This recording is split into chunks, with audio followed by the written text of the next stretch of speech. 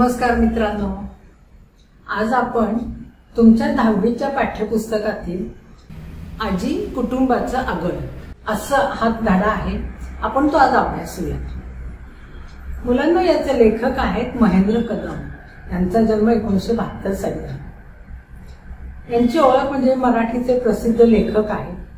त्यांचा अभ्यास भरपूर आहे. मराठीचे भाषा विज्ञान भाषाविषयक विज्ञान हे त्यांचं पुस्तक प्रसिद्ध आहे. त्यांचं कवितेची शैली हे पुस्तक प्रसिद्ध आहे.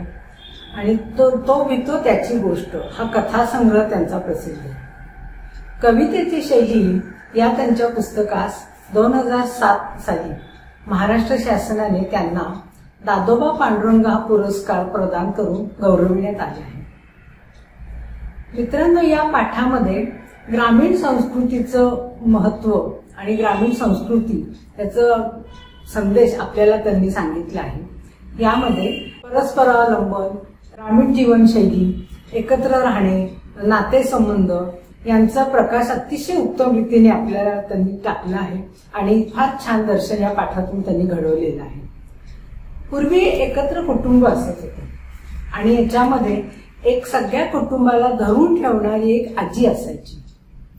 आता बघूया या आजी आपल्या लेखकाची आजी कशी आहे आणि काय काय तिने आपल्याला संदेश दिला हे आपण बघूया.